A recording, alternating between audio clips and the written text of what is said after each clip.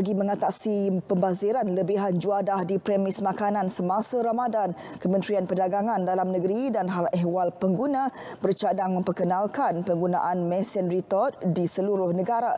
Timbalan Menterinya, Datuk Rosul Wahid berkata, ia merupakan alat bagi meningkatkan jangka hayat lebihan makanan yang masih baik dan belum disentuh secara kedap udara. Tambahnya, ketika ini hanya empat negeri telah menggunakan teknologi tersebut iaitu Perlis, Terengganu, Johor dan Kuala Lumpur. Mesin retort yang dianggarkan bernilai RM38,000 digunakan di bawah inisiatif projek program Food Bank. Bukan, bukan sisa, tapi makanan yang kadang-kadang hidang banyak, tiba-tiba tak disentuh, dulu dia buang.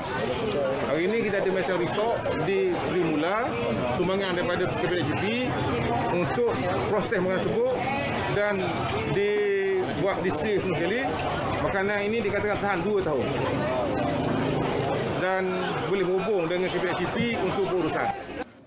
Tahun lalu jumlah lebihan juadah dianggarkan sebanyak 17 tan sehari di seluruh negara.